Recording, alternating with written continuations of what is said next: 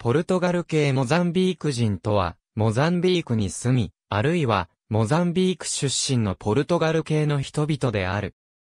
今日のブラジルとなっている彼らのラテンアメリカの領土のプランテーションで労働させる以前の15世紀においては、ポルトガル人の探検者は黒人奴隷をポルトガルに連行するために、今日のモザンビークと他の2つのポルトガル語圏アフリカの国家に相当する地域に向かった。最初の高級的なポルトガル人のコミュニティは16世紀にこの地域に設立された。地域は居住していたポルトガル人入植者の家族によって17世紀に EN プロソスに分割された。モザンビークは19世紀にポルトガルの領土であると宣言された。20世紀初頭に本土の政府はより多くの白人移民と地域への定住を許可し、1960年代のモザンビークには37万人のポルトガル人入植者が存在し、経済を向上させた。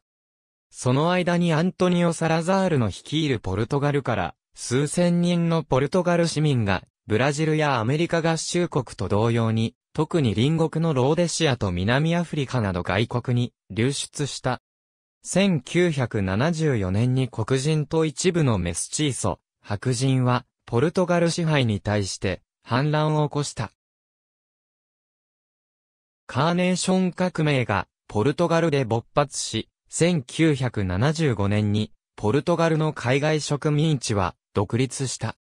多くのポルトガル系住民はすぐに移住し、彼らのほとんどはポルトガルに戻り、リトルネードーズと呼ばれることになった。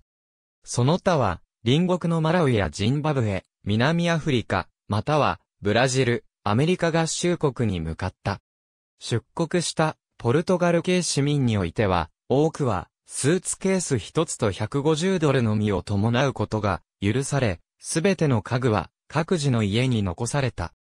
残ったすべてのポルトガル系定住者は政府によって、モザンビークの市民権を得るか、出国するかの決定期間が3ヶ月与えられ、彼らは3ヶ月経つ前に、モザンビーク市民権を選んだ。1000人以上のポルトガル系が内戦勃発後に出国し、彼らは南アフリカ、スワジランド、ポルトガルに逃げた。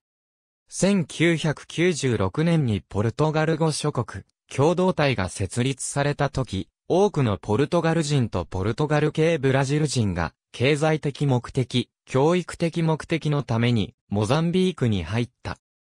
彼らは、遠隔の地方部でのポルトガル語の学習を助け、ユーロから交換されたメティカルは、大きな価値を得たため、経済的な発展を助けた。彼らの多くはモザンビークを高級的な故郷として選んだ。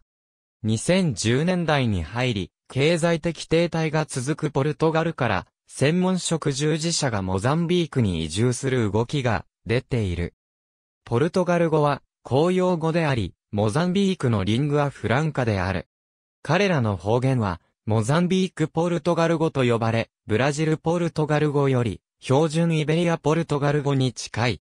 彼らの中では一つの主要なバントゥー語を、大二言語として話す。多くのポルトガル系は、キリスト教徒であり、カトリック教会に属している。ありがとうございます。